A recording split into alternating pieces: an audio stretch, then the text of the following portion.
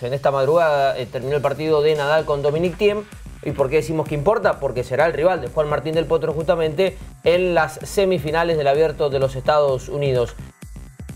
Eh, cuesta decir que Del Potro está en su mejor momento porque este es un torneo que ya ganó Juan Martín del Potro. Es verdad que quedó muy lejos, pero eh, ya lo ganó alguna vez.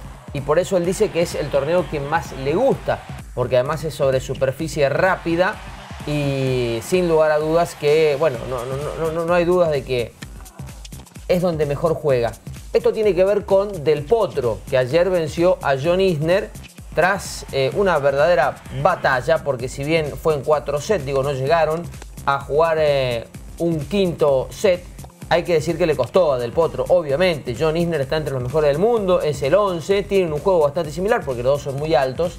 Así que apuntan a los puntos cortos.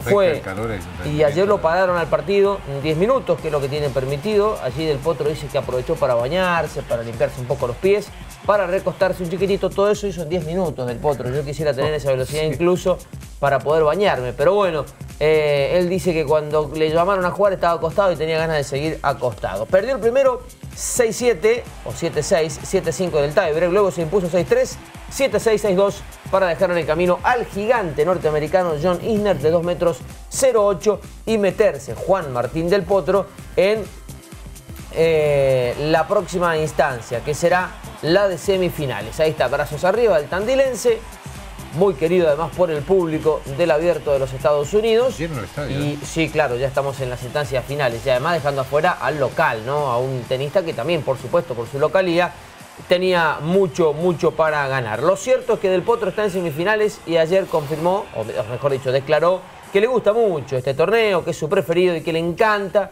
estar en esta instancia. Claro, ahora ¿quién se viene? Un tal Rafael Nadal. El pibe que viene creciendo. Que viene bastante bien, que cuando muchos lo daban por terminado, el tipo se recupera y vuelve a estar en la escena. Fíjense lo que pasó ayer. El primero lo perdió 6-0 Nadal, muy raro, muy raro, ante Dominique Thiem. Después ganó 6-4, 7-5, perdió 7-6 y el último fue 7-5. ¿Por qué marco esto?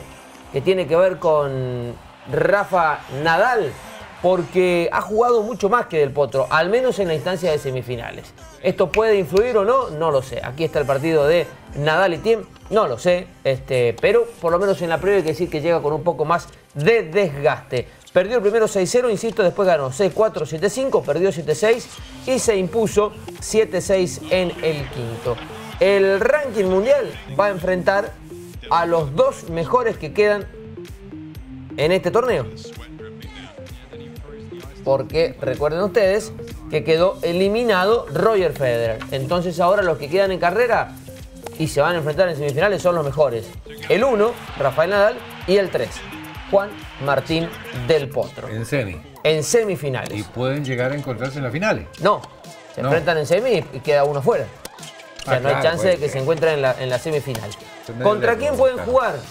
El que gane esa semifinal, ¿contra quiénes pueden jugar la final?